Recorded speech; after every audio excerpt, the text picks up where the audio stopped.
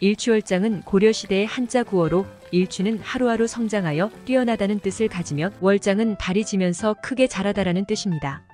일추월장은 이러한 뜻과 함께 음을 나타내는 부분입니다. 이 구어는 어떤 사람이 하루하루 성장하여 점점 더 뛰어나게 되는 것을 의미합니다. 마치 달이 지면서 크게 자라나는 모습을 비유하여 어떤 사람이 지속적인 노력과 성장을 통해 점점 더 뛰어난 모습을 보여주는 상황을 표현하는 표현입니다. 이와 관련한 재미난 이야기를 알려드리겠습니다. 예를 들어 한 번 일추월장을 실천한 사람의 이야기입니다. 어린 시절부터 음악에 관심이 많았던 한 청년이 있었습니다.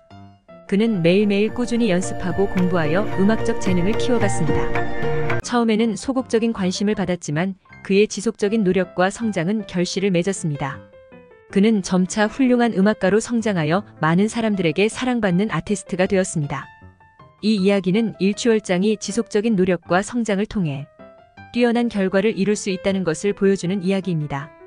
일추월장은 하루하루 성장하여 뛰어나게 되는 것을 의미하는 표현입니다. 이는 지속적인 노력과 성장을 통해 개인이나 조직이 큰 성과를 이룰 수 있다는 가치를 강조하는 표현입니다.